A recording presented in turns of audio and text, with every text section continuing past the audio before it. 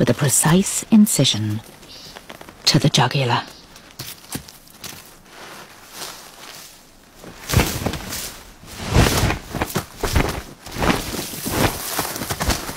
Plucking the iguanas right from their burrows. Now, the shelter and camouflage of the rocks is the only hope.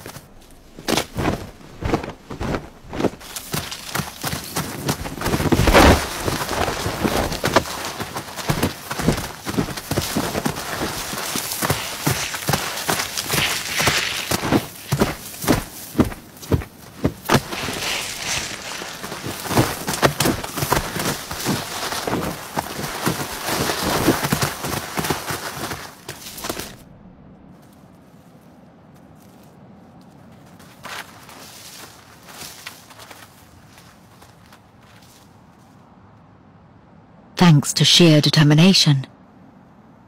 She safeguarded her next generation.